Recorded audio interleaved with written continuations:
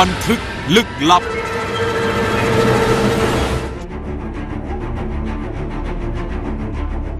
หลังจากมีการค้นพบตะเคียนทอง อายุกว่า 200 ปีใต้แม่น้ำน้อย จนกระทั่งเชิญมาไว้ที่วัดบางคล้าอำเภอบางไทรจังหวัดพระนครศรีอยุธยา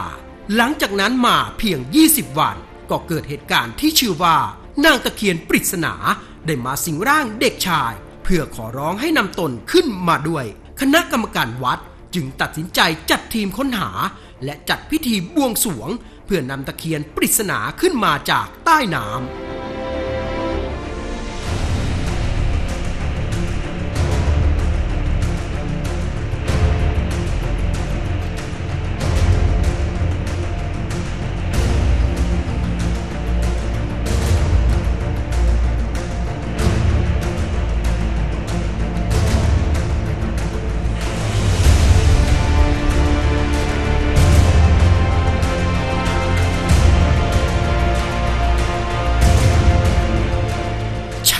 จนกระทั่งใกล้เที่ยง ทีมค้นหาพบแต่เพียงความว่างเปล่าใต้น้ำจึงตัดสินใจ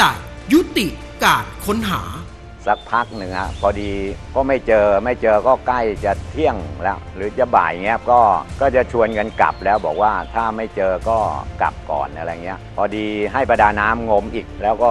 งมไปได้อีกสักพักหนึ่งไปเจอหางเสือได้ลากหางเสือขึ้นไปไว้ชายตะลิ่ง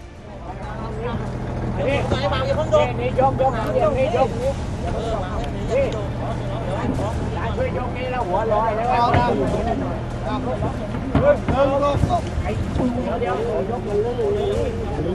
hấp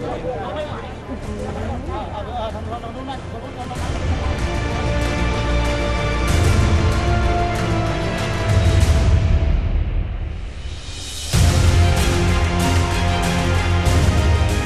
หลังจากพบหางเสือเรือโบราณไม่น่าเชื่อว่าเพียงไม่กี่นาทีต่อมา เจ้าหน้าที่นักประดาน้ำก็ได้พบกับท่อนไม้ตะเคียนท่อนเล็ก ทั้งๆทที่ก่อนหน้านี้กว่าครึ่งวันไม่มีใครพบเห็น แม้แต่เศษไม้ใต้ผืนน้ำบริเวณนี้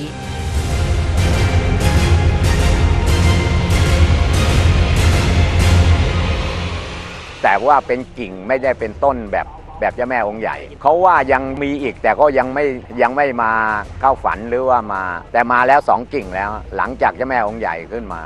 ทั้งหางเสือเรือโบราณ และตะเคียนท่อนเล็ก ถูกนำมาเก็บรักษาไว้ที่วัดบางคล้า เหมือนกับตะเคียนใหญ่ที่ค้นพบก่อนหน้า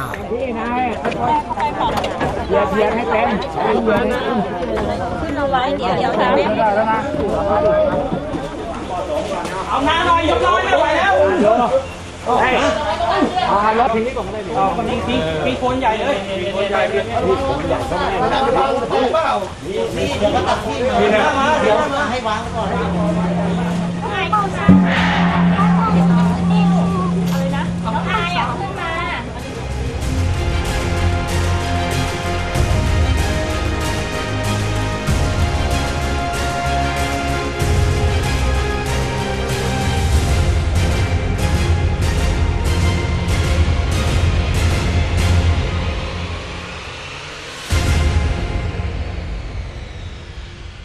เขาบอกว่าอยากจะมาอยู่วัดบางคาและจะมาช่วยบูรณะวัดจะมาช่วยสร้างวัดให้ฮะสร้างวิหารบูรณะวิหารให้ให้เจริญขึ้นนะให้วัดบางคาเจริญผู้คนได้เข้าออกมากราบไหว้นมัสการ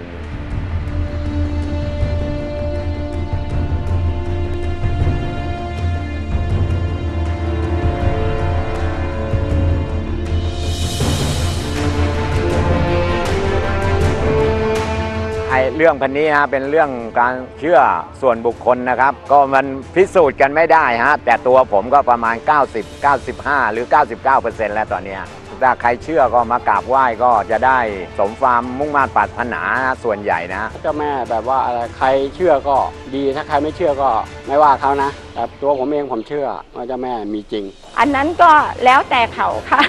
เขาไม่เชื่อก็อย่าลบหลู่ค่ะ ก็อยากฝากบอกถ้าเผื่อใครนับถือก็มาไหว้ ถ้าเผื่อใครไม่นับถือก็อย่าลบดูท่านอะไรอย่างเงี้ย เพราะว่าท่านก็มาคือเราไม่เห็นตัวตนท่านไงท่านเป็นสิ่งแบบลี้ลับอะไรอย่างเงี้ยแบบเป็นสิ่งที่เราแบบก็ถ้าเผื่อเรานับถือเราก็มากราบไหว้ท่าน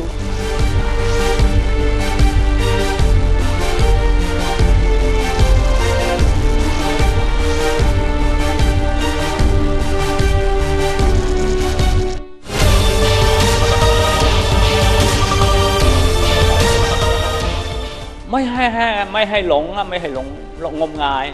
คือเชื่อสิ่งที่ควรเชื่อ แต่เราเราก็เราก็เชื่อความเชื่อนะ ว่าแม่ตะเคียนมาอยู่กับวัดบางคล้านี่ก็ทำให้วัดบางคล้าเจริญแล้วคิดว่าอย่างนั้นคิดว่าทำให้เจริญให้ทำให้ผู้คนเข้าวัดเข้าวามักราบไหว้บูชา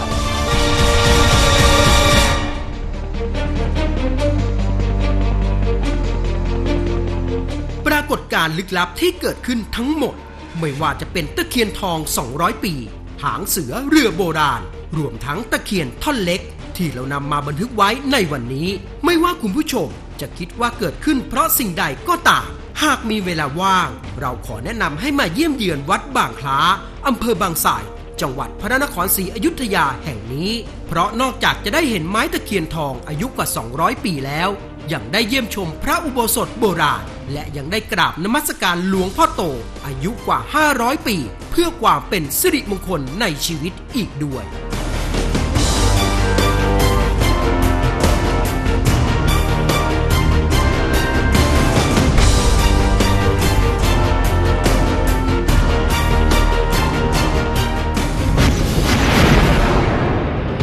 พบเห็นเรื่องราวเร้นลับพิสดารและตำนานความเชื่อ ส่งมาร่วมบันทึกกับเราได้ตามที่อยู่นี้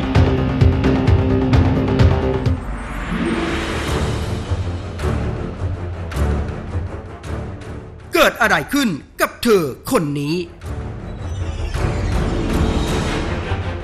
ปรากฏการลึกลับ เสียนปราบมาร บันทึกลึกลับที่นี่ที่เดียว Miracle Channel